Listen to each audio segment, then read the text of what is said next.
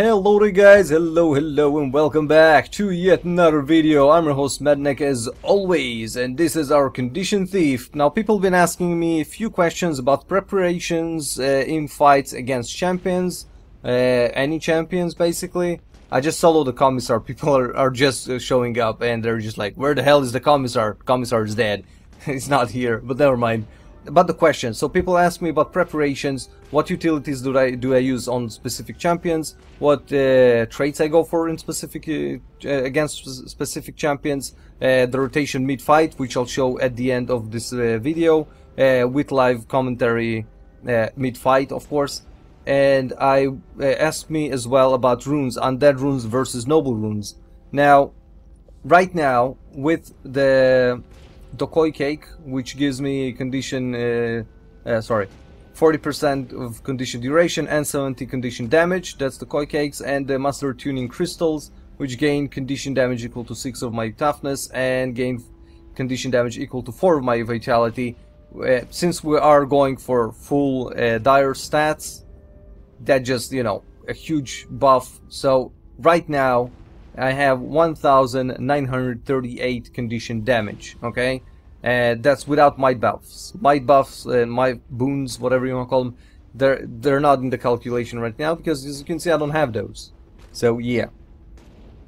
Also, oh by the way, just uh, out of uh, place note, just so you know, those uh, favor, glorious favor things, they stack, I don't know if you know it. So if you use them a few times, you can stack it up to 8 hours. So if you are doing a lot of SPVP or TPVP, just click that a few times, you'll stack them up, and you don't need to forget about them for a few hours until, you know, whatever you do in SPVP or TPVP, whatever, does matter. Uh, except for that, what I wanted to say, oh yeah, the undead runes. So undead runes, the 6th rune will give me 5% toughness become uh, condition damage, okay? So toughness, I have over 2000, okay? So that means I gain 100 condition damage just from the 6th rune right here. Okay, that's without any might buffs, uh, any might stacks, anything. So with that, that means uh, 100 condition damage. That is, it's a little bit more even. So that is about 3 stacks of might. Constant 3 stacks of might that I have on myself. And invisible, you know, constant stack, stacks of might, of course, because it's just a buff that you know does not relate really to the might buff. Now with the noble runes, the noble runes increase the duration of my might stacks, and uh, you know they they last longer instead of 10. They last like 16 seconds or whatever. And every time I use a heal, they give me three stacks of might, which are those 105 uh, condition damage. Yeah. Uh, which I gain from uh, from my toughness right now. So it's up to you. If you're if you know that you're sometimes sloppy on your rotation and you you know that you will screw up at some point at your rotation or you might screw up at some point on your rotation you're pretty po positive about it. I would advise to go for undead because those three three you know invisible three stacks of might they're always there. You can have them and you just st keep stacking might uh, from dodging from going invisible and from anything else that gives you uh, any stacks of might although with this build only two of them invisible you know go stealth and dodging. That's the, the only two. That's it. Uh, that's my advice to you. But if you already have the noble runes and you're really having fun with them just have keep having fun with them. You know they don't have to like oh Madnek said you, you, you should replace them blah blah blah right? Madnek, Madnek has opinions. You know you you are entitled of your opinions and your own tests. So whatever you know do it for you then go for it now, but the traits, the traits are always the same with the Madnek Syndrome. It's 30 in Shadow Arts, it's 20 in Acrobatics, 20 in Trickery. Uh, right now, because of the so many changes to Vigor and uh, they moved the Assassin's Reward to the third uh, tier here, if I'm not mistaken. What, what was Yeah, Assassin's Reward third tier. They buffed the healing on it a little bit, but they moved it to the third tier. In my opinion, it it's not worth the 30 points in Acrobatics. I prefer the 30 points in Shadow Arts because of uh, Hidden Assassin and because of uh, Shadow's Rejuvenation, which is, in my opinion, by far superior. Uh, that's my opinion, though. And that's what matters, right? In those videos, my opinion, because that's why you're tuned in, basically. But, yeah, so what do I actually keep myself, how do I keep myself up?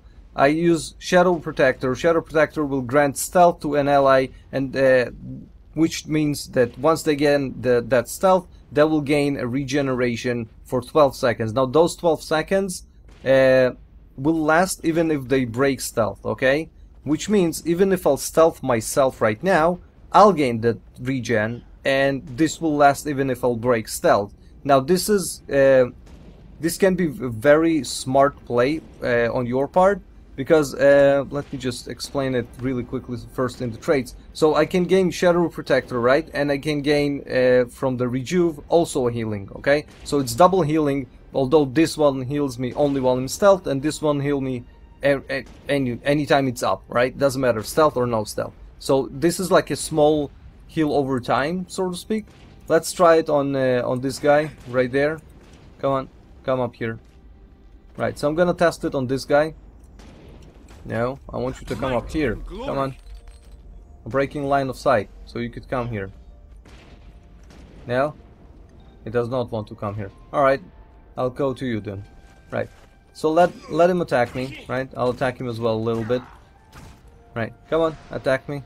You're you're not attacking me, mate. You're dying and you're not attacking me. Okay, there you go. Right. So let me use heal, right? So again, you see the double heal?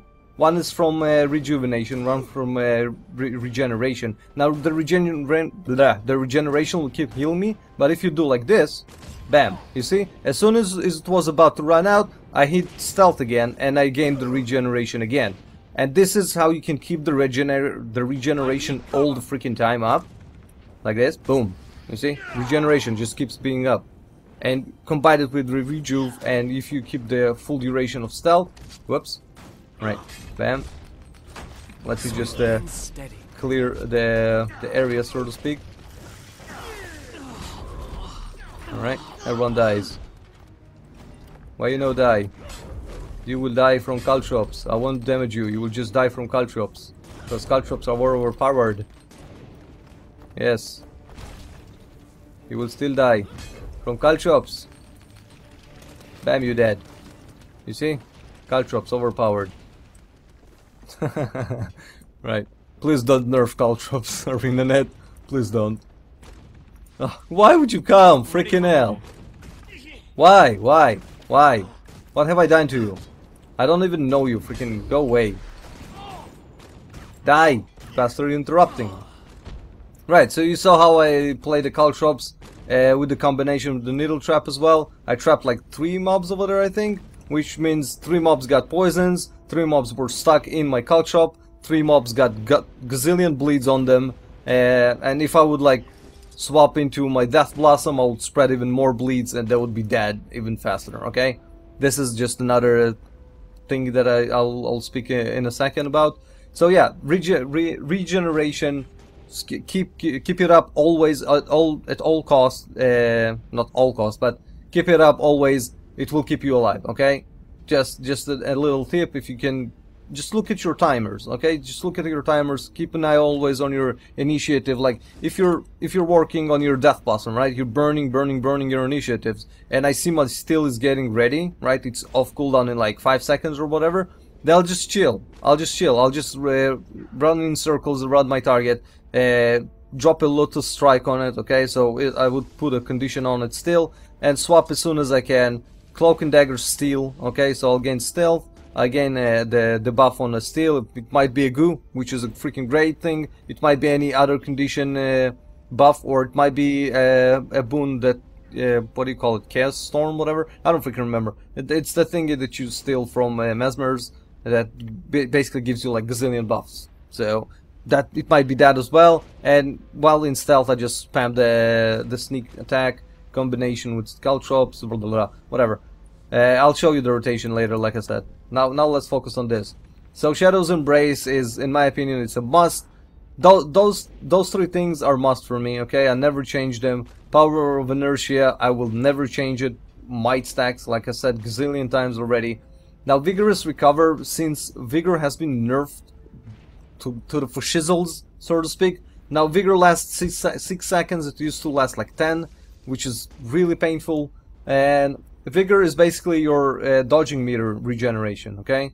So let's let me explain to you, like I dodged, I dodged again, right? Can dodge it another time. Now I'll show you how fast it will regen. You see with the Vigor, see? It it it just regen instead of one tick, it just ticks twice, uh, as long as the vigor up. Okay. Now I gain vigor uh, from my heals, and with this build also from my from my uh, stealing ability, Caltrop, the small Caltrop. I use dodging as an offensive ability as much as I use it as a defensive ability. Yes, I dodge to avoid attacks, but I use also dodging for stacking might, and I also use dodging for Caltrops, which is both of them are offensive. So that's a win-win situation. And the last trait, which is Bountiful Thief, uh, the main reason why I use it is the vigor, of course, and the, their other their other uh, you know good thing about Bountiful Thief is when you reap off two boons of your uh, of your uh, enemies and you grant them to yourself and your allies. Now, reaping the boons is is beneficial to you not because you take those boons to yourself and you by that you improve yourself because if the mob has like 10 stacks of might and you use it and I used it a few times already I would not get the those 10 stacks I just get one might and it just removes it from him. And this is the best part because I I don't it's it's not as as much as I care getting those boons it's it's more that I care about the the enemy or the the champion not having them. Which means if he does not have 10 stacks of might I don't get a massive hit in my face okay? And this is the point that I don't want to get a, a big hit in my face so get I, I don't want you to have those stacks of might or I don't want you to have uh, the, that critical damage. Or I don't want you to have to block my attacks or anything else, okay? Anything that benefits my target, I don't want it there. I just wanted to steal it away from him if I can. So Bountiful Thief is definitely a really good thing combined with the vigorous recovery. Of course, don't use it at the same time because it, it will just uh, reset it, uh, the timer. Or I'm not sure if they stack even. I mean, if you care, just test it out and you'll figure out, okay? Now about the foods already explained, koi cakes and uh, master tuning crystals. Uh, utilities, I always use withdraw, it's like I said a gazillion times already, it's 15 seconds, it's really fast, it's always there when I need it, almost uh, uh when I need it. Uh, immobilized, shield and crippled are gone once I use it. It gives me evade, which means a dodge. It's almost a one second dodge, which means whatever, whatever happens in that one second, I don't give two craps about it because I don't get hit. So, sure, whatever. And with this build, it also gives me vigor. So I gain vigor every 15 seconds, which is freaking awesome because I do use withdraw a lot. Now also, as I showed in the previous uh, videos, uh, the forward withdraw trick, so I can actually withdraw either backwards, forward, to the sides, however I want. So it, it is a really good getaway or get forward or get backwards trick and utility to use. And it's only on 15 seconds cooldown. Why the hell not use it? Yes, the healing is not as big as uh, what was it, hidden, hiding shadows, but you know it's still good, and why not use it? Caltrops will be always on my uh, on my utilities bars, and Needle Trap combined with Caltrop, like I showed before, just root it like uh, immobilize three targets insta inside the Cal Caltrops put poisons on all of them, stacking bleeds on all of them because they're stuck in caltrops. So the combination of those two is almost I, I know it's it, there there are no other options to use.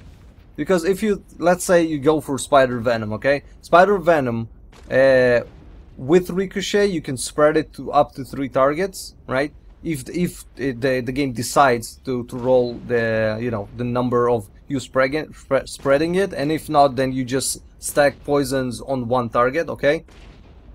But the cooldown on it is 45 seconds, and it does not have any other condition except for poison.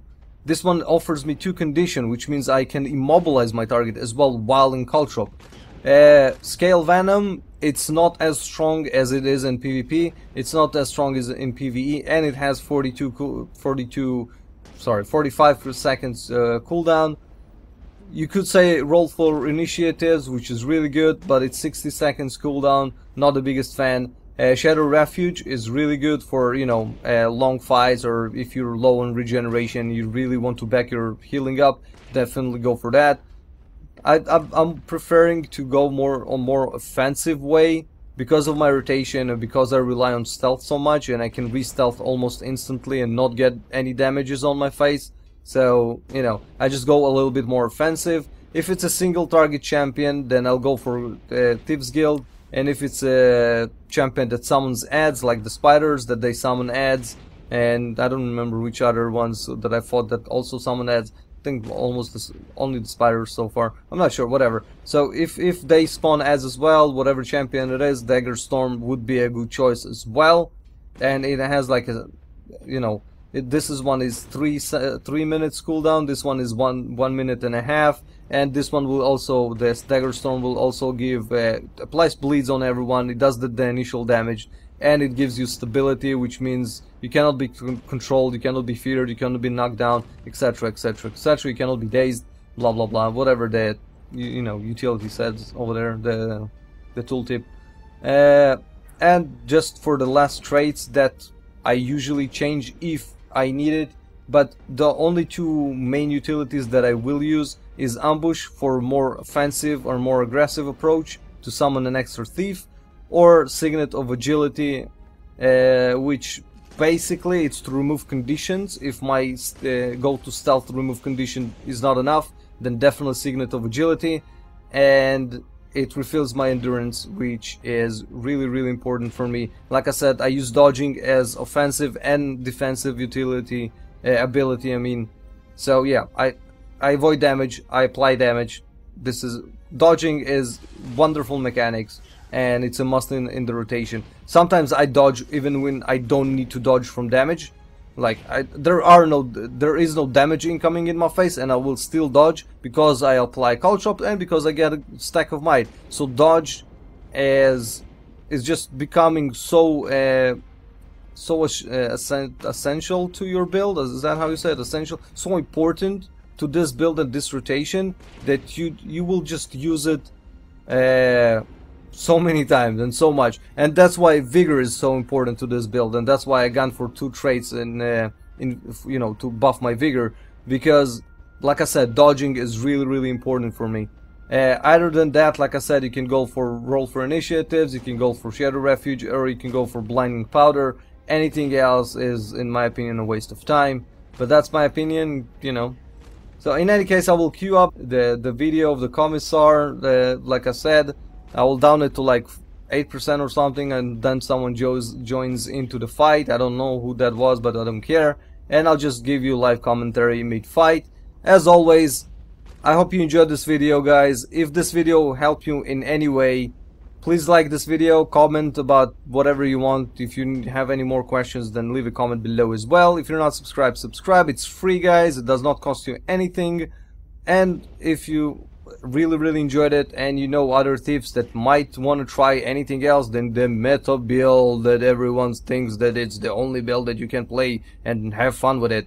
Many thieves that I've shared my build with tried it enjoyed it and they stayed conditions for a long long time because it's a much more fun build in my opinion and theirs opinion because it has much more mobility it's more flexible build, it's more survivable build, and you still do the damage and you down your champions like anything else. So, share this build and this video to your friends, family, and even your neighbors, whatever. Hope you enjoyed the commentary and see you guys later. Bye bye! Alright, so we start with Cloak and Dagger and Steal, because we need the extra thingy. Summon two thieves, drop the Caltrop, fired at it, Needle Trap, and drop the goo. Now in Death Blossom, while I spread the Death Blossoms on his face, while you do it in the goo, you will spread as well confusion to everyone, which is freaking awesome, and it's great, basically. So even if you'll get some damages in your face, it's okay. Now you can see that I use dodging as well, uh, like I've said before, a defensive ability as an offensive ability. You could see the target was standing over there in my Caltrop, at the small Caltrop of the dodge, drop the big Caltrop, I get knockback here, but it's okay. I'll just stealth myself and drop the needle trap because I can, basically. You can see I trapped there two or three targets, I think two, and just keep on doing that. I'll try to stun him because it's annoying me, but it does not get stunned or dazed, whatever. Summon a thief here and just keep on doing the the death blossoms to apply more bleeds. I need a heal here because I did some damage to myself because of the confusion. I stealth myself. I burned the stealth here for the double heal, and I dropped the Caltrop. wait it out, you know, cloak and dagger steal, another uh, five shots, needle trap, dodge again. You can see that I used the dodging, like I said, stacking might and apply uh, the conditions from the caltrops, from the small caltrops, as well as avoiding damage, of course. But that's, you know, it's it depends on the situation. Like over there, I dodged the damage and I applied caltrop, which is freaking great. Heal myself again. I'll cloak and dagger here again because hey, why not? And steal as well. I'm getting the the crappiest uh, thingy here. It, it, does not do anything except for some damages. It just knocks me down. But whatever. Uh, you know, it's a useless ability, but we need to burn it down, so we will free it for another uh, ability the can steal. But this is it. Just keep on Death Blossoming, dodge when you can as offensive and a defensive, swatch the pistol dagger, cloak and dagger, 5 shots. Someone will join in here in the mid-fight here to help me out, although I don't really need it, but whatever. Sure, there you go. And this is the rotation, guys. This is a more offensive approach, like I've said, because I'm using my, my extra thief here. Sticking this freaking champion in the caltrop with the needle trap is a really big, important thing because you will do so much damage with it. It's it's just crazy, crazy. I'm telling you. So I hope you enjoyed it, and I hope you'll join me the next things, guys, the next videos. I'll see you guys later. Bye bye.